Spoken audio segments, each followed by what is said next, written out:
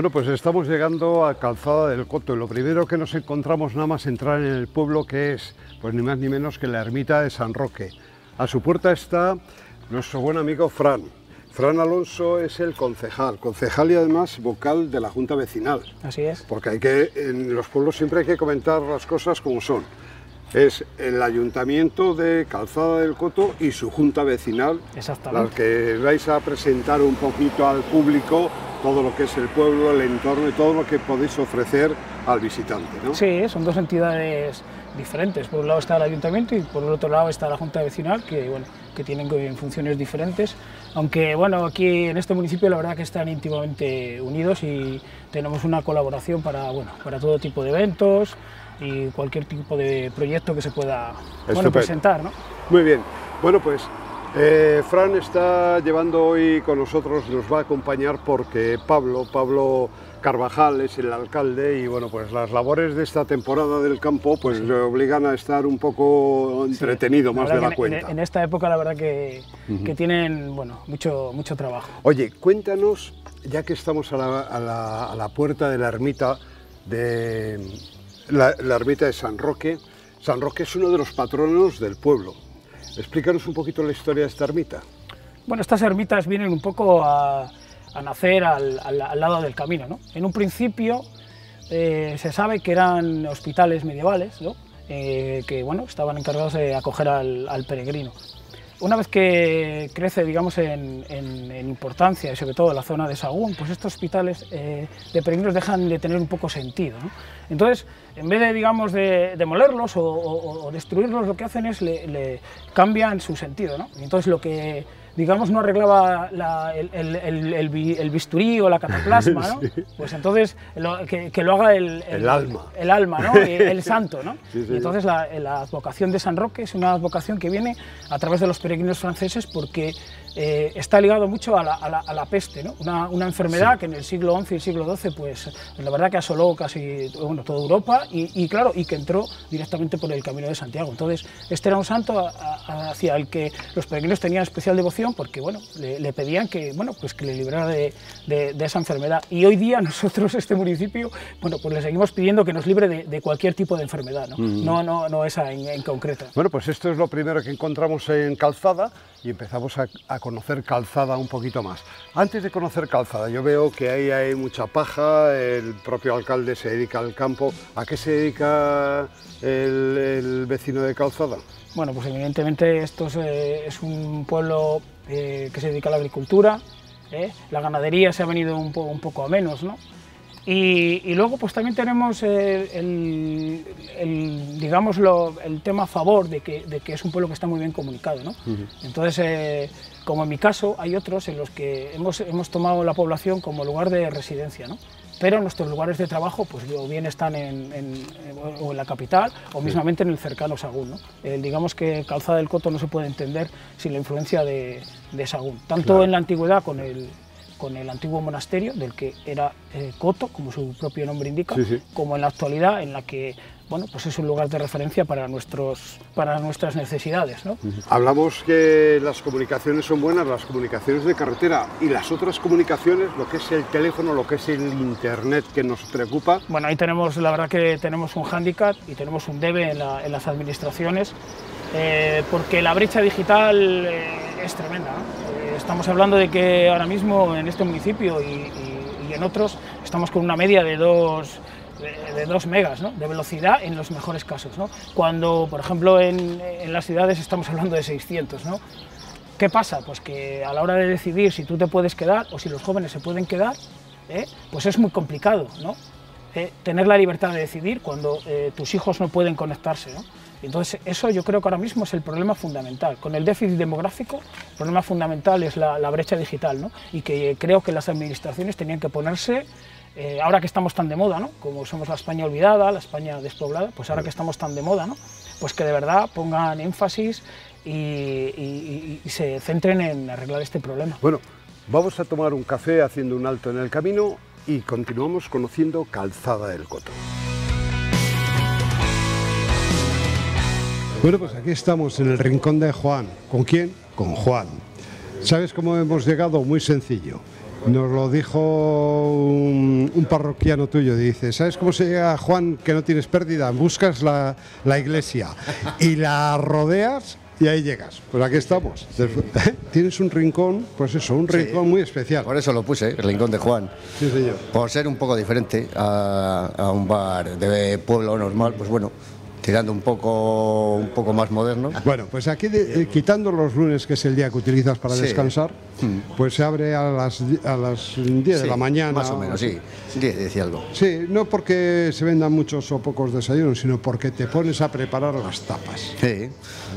Oye, me han dicho que si yo vengo aquí no puedo marchar sin probar unos callos. Sí, principalmente los callos, es la tapa estrella. hay Callos- callos y oreja, pero los callos el número uno. Sí, sí, sí, totalmente. Oye, eh, aquí me has sacado esto, eso quiere decir que ahí, aparte de callos y orejas, hay también otras cosas. Pero vamos a ir repasando un poquito lo que pasa al cabo del día. Es decir, por las mañanas, el que quiera venir a tomar café a partir de las 10 de la mañana, bien, pero luego lo que aquí empieza ya a funcionar es el vino. Sí, A mediodía el vino. Sí, a- a- sobre las 2 más o menos empieza la hora del vino, hasta las 3, 3 y media. Aquí viene la gente pues a tomar, pues eso, los callos. Sí, Y, y luego pues ahora en este tiempo un poquito, unas tapas un poquito más frescas, ¿no? sí, melón con jamón, pues, pues, tapas frescas del verano, Claro. sardinas, cosas... Sí, un poquito Sí, de embutido. un poco de eh, embutido, sí, un poco Ese variado. pincho de tierra Sí, que he visto. sí, sí, sí. o sea, todo. Oye, y, y luego vino, fíjate qué selección de vino nos ha sacado. Eh, todo de Tierra de León, también tenemos ahí un Riojita, porque Sí. hay que decir que también tenemos Sí, vino de por la gente que viene, porque principalmente aquí hay mucha gente que viene de- del País Vasco, de Victoria, y les gusta pues vinos, vinos de La Rioja. que están tomando allí. Sí, principalmente. Bueno, pues luego ya eh, tenemos el café, las partidas, una terraza inmensa y, y luego ya, bueno, pues podemos venir aquí a qué? A merendar, a comer un plato combinado, Claro. a comer unos sándwiches. Pero sobre todo lo que no te puedes eh, dejar de tomar aparte de los callos La son las hamburguesas. Sí, sí, sí. Las hamburguesas además las hacemos con pan. En vez de pan de Sí, molde sí. de hamburguesa con, con mollete, au- sí, pan, eh, pan. pan auténtico. Aquí tenemos una carta donde tú nos describes un poco, pues, seis u ocho modalidades diferentes de una buena hamburguesa Sí. completa todo. Y todo va con ración de patatas incluida. Fíjense que lleva, llevas año y medio, Año y medio. con este establecimiento. Un hombre que estaba trabajando en Sagún, te dedicas al mundo de la fruta, no tenía nada que ver con esto, te pones a primero y dijiste, oye, en mi tierra ha quedado libre esto Sí. y aquí me voy. Sí, yo más o menos, bueno, pues por tener una iniciativa de, de que el pueblo, hostia, pues no se quedara sin bar y para aquí y tal, pues entonces lo monté y nada, puse por referencia las hamburguesas y cuatro cosas, digo, bueno, pues voy a ponerlo a ver si tiene aceptación, sí, y la verdad que han, han tenido muy buena aceptación, y entre los peregrinos también, Aquí lo que te pidan. Sí, sí. ¿quién dijo Si se puede hacer, sí. ¿Quién dijo miedo? Nadie dijo miedo. efectivamente, si se puede hacer, sí.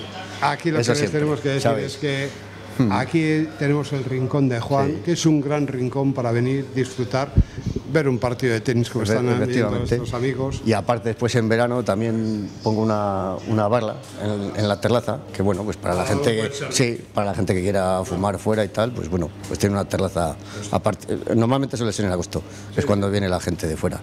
Entonces sí. En agosto estamos, en agosto a En disfrutar agosto aquí. está, está todo, todos los pueblos están llenos. hombre. Por supuesto que sí. Pues nada, rincón de Juan. Rodeando la iglesia, aquí Ahí la tenemos. estamos. Sí, señor. Bueno, pues nos encontramos ya en el interior del albergue, del albergue que el municipio pone a disposición de los peregrinos. Aquí hoy están al frente los, eh, lo- los ¿cómo, cómo los denomináis? Los Hospitaleros. Los hospitaleros. Hospitaleros voluntarios. Los hospitaleros voluntarios, que es Pierre y Anabel. Sí, Pierre y Anabel, que vienen de, bueno, a través de la Federación de, de Amigos del Camino de Santiago y de los hospitalarios voluntarios. eh, Gestionan este albergue, tratan al peregrino, le reciben, le dan un abrazo y bueno, ellos vienen cada 15 días, Cada esta 15 días. quincena. Esto en su día eran las escuelas municipales. Eran las escuelas nacionales, ¿no? Nacionales. De, de principios del siglo, Sí, señor. ¿no? de, de, mil- de 1900. ¿no? Y hace ya cinco años habéis convertido en esto. Sí, la verdad que fue, eh, ha sido un proceso, digamos, de, de reconstrucción, ¿no? De, digamos, de los, de los dos edificios que teníamos en, eh, en el tema, digamos, escolar, ¿no?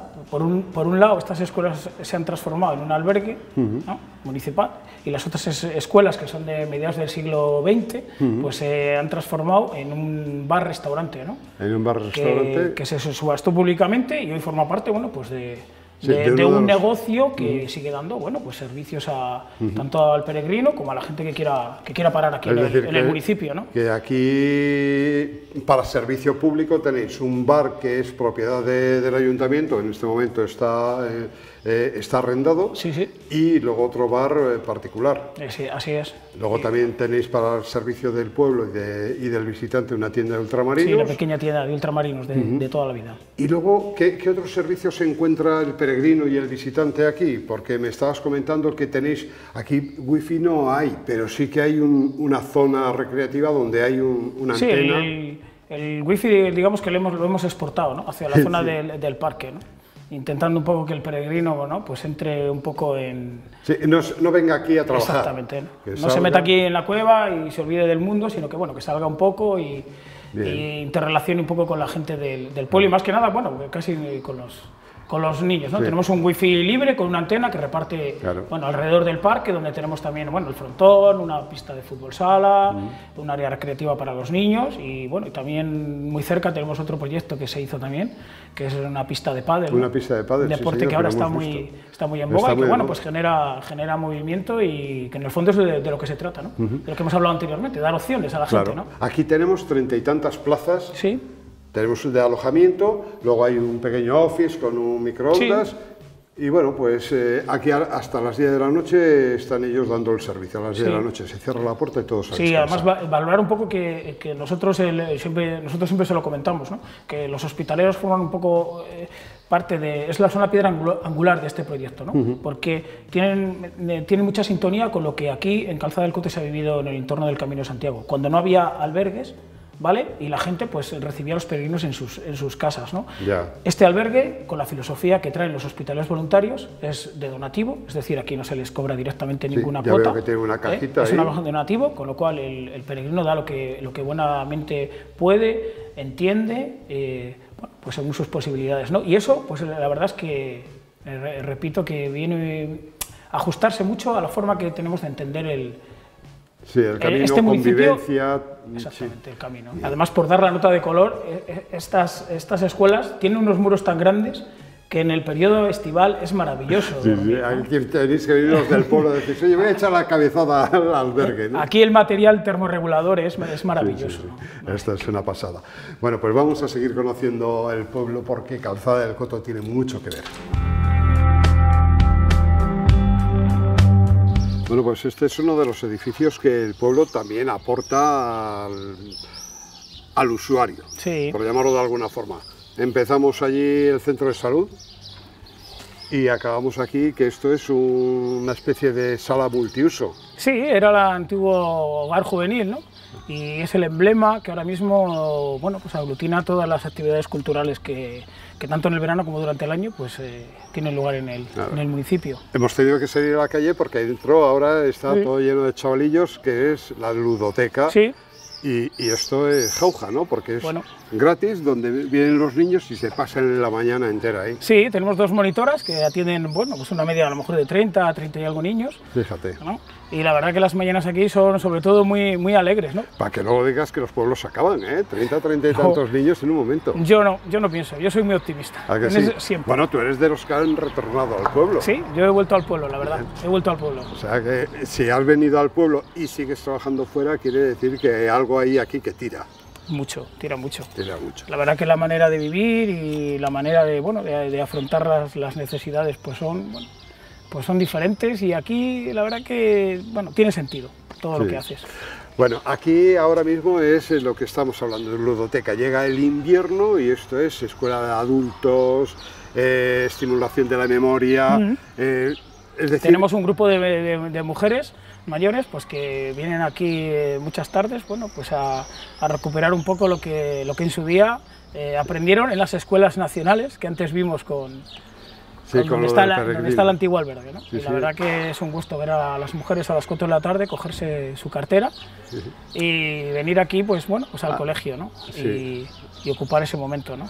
Luego habíamos hablado al comienzo de, de esta charla eh, de, uno de los patronos que era San Roque, pero el otro patrono es San Esteban, que es a, a quien está dedicada la iglesia parroquial de aquí. Pues sí, la verdad que San Esteban le tenemos un poco, un poco marginado, aunque ocupe un lugar privilegiado porque ocupa la iglesia, pero bueno, San Roque como está a la entrada, Sí, pues es parece el que, más visitado, ¿no? Sí, que capta todas las miradas, ¿no? Pero San Esteban le tenemos hasta la fiesta, ¿no? Que es el 26 de diciembre, la tenemos un poco, un poco separada, pero bueno, eh, todas las iglesias estas que se hicieron en el entorno del Camino de Santiago, pues bueno, pues eh, se consagraron a, a- a muchas a San Esteban, porque bueno, fue de los primeros mártires de la, de la cristiandad, ¿no? Entonces buscaban un poco, un poco lo que es- también se buscaba con, con San Roque, ¿no? Buscar un poco el consuelo, el consuelo espiritual. ¿no? Y San Esteban parecía que, que se lo daba, ¿no? Pues bien. Oye, yo creo que este es un pueblo que, fíjate que cerca está de, de León, que cerca está de Sagún, que, que para ir a Sagún nos desviamos y vemos calzada de Coto a mano izquierda, a la mano derecha, salida para Sagún,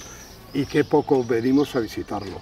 O sea que aquí nos estás dando la oportunidad de venir. Pues sí, invitamos a todos a, a que vengan porque estamos cerca y, bueno, y aquí la gente es hospitalaria. ¿no? Vamos a ir ya a ver la salida de lo que es calzada y seguimos con vosotros. Bueno, Fran, nos despedimos de Calzada del Coto y nos llega ahora la toma, toma de decisiones, ¿no? Claro, como, como desde hace mil años. decidían decidían los, los peregrinos, ¿no? Que se atrevían a pasar por Calzada del Coto. Sí. Decimos, ¿dónde vamos? ¿Por la calzada romana o por el camino francés? Los caminos los hace la gente, ¿no? Si, Sí. si parafraseamos a Machado, ¿no? Caminante no hay camino, Se hace camino. se hace al andar. camino al andar, ¿no? Sí, pues sí. esto es igual, ¿no? Eh, los caminos son todos iguales y, y los decide la gente, depende de...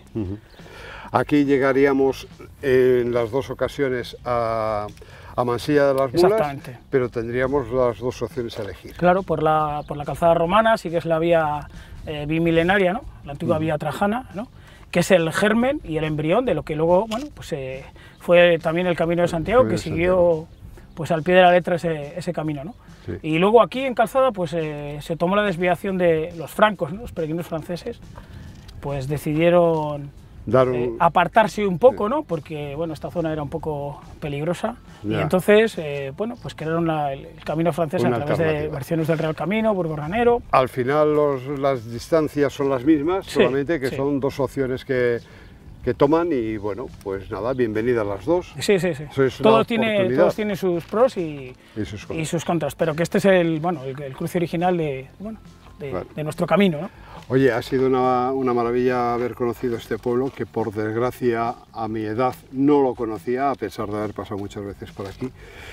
Volveré, vendremos a ver esos pendones que vosotros Sí, pertenecéis también Se nos a- había olvidado hablar de la Asociación de Pendones, De la ¿no? Asociación que de vamos por Pendones. toda, la, por toda la geografía nacional, ¿no? Sí, señor. llevando nuestro pendón. Aquí hay una asociación, la verdad que está luchando pues con, mucha energía por el mantenimiento de la tradición de, nuestro pendón y allí donde va lleva el nombre de, de calzada, nunca mejor dicho, bien alto, ¿no? Bien alto.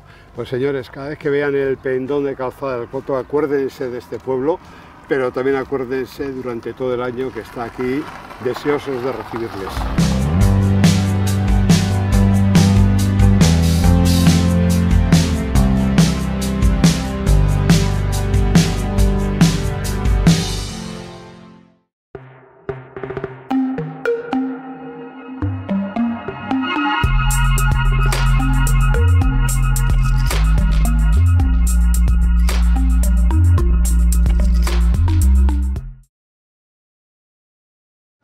Se acabó julio, pero agosto sigue y con calor, ¿eh? Bastante calor. Oye, pero aquí el Ginger me parece que hoy tiene otra movida de las de siempre. Como siempre, ¿no? Como siempre. Y no, y no se para ahí. Cada 15 días tiene sus comidas y también cada sábado una etapa diferente de cada país. Oye, ¿has olido cómo...? Sí, sí, invi- está? invi- invita, invita realmente a tomarse un pincho. sin duda. Vamos a entrar porque estamos oyendo música. Está Luis Pedreira, creo que está cantando, sí, sí, es él. Está cantando Luis Pedreira. Vamos a ver qué tapas tiene hoy. Tenemos en cuenta que todos los sábados hay tapas mexicanas y más cosas. Vamos a hablar con Luis. Eh, Luis, aquí te vemos a menudo. Aquí se está fenomenal, ¿no? Aquí perfecto, el Ginger ya es casi una casa de música para mí. Tu segunda casa de música. Vemos que cada semana, cada dos semanas estás aquí, vienes a hacer el baile verbú, vienes por las tardes como hoy, hoy viernes por la tarde, a hacer eh, una un acompañamiento, pues, ¿a qué? ¿A tapas? ¿A qué, qué es lo que más eh, ves a la gente tomar? Sí, bueno, la gente sí, se toma un poco de todo. Es vermú, pero no, no tiene que ser vermú como tal. A pesar de que vino a vino, o sea, vino a vino también está en estos eventos, yo creo que es eh, un poco de todo. Se ve cerveza, vermú, Coca-Cola. Yo, de hecho, hoy estoy a Coca-Cola, no suele ser Coca-Cola, pero bueno y vinos, un poco de todo. Las tapas están riquísimas en este bar. De hecho, es una de las marcas del bar, ¿no? No solamente los eventos estos, la animación que proporciona a sus clientes, pero las tapas sí que marcan por su calidad. Tenemos que decir es que hoy, por ejemplo, después de la actuación de Luis, va a haber una comida, una cena, mejor dicho, una cena de comida española. Pero dices, bueno, pues eso no es ninguna novedad. Pero sí es una novedad, ¿por qué? Pues porque ahora va a hacer todas las semanas, el fin de semana, va a hacer una comida dedicada a cada país. Entonces va a ser boliviana, eh, bueno, brasileña. Ah, sí, no lo sabía. Pues mira, me estás diciendo, aunque no venga a cantar, a actuar, vendré seguramente a comer algún día o a cenar. Sí, señor, pues ya saben ustedes, en el Ginger, en la calle Reyes Católicos, en el barrio de, La Palomera, bueno, eso es más bien San Mamés. La transición, sí, la transición. Pues aquí va a haber todas las semanas, a partir de esta misma semana, va a ir cambiando eh, la comida. El fin de semana tendremos comida dedicada a cada país de Sudamérica. Con lo cual aquí tienen una cita inexcusable. Ah, sí, y con la música también, ¿eh? que no se os olvide. Oye, tócanos un poquito alguna cosilla. Ponte el micro y dale caña ahí que, que te esperamos.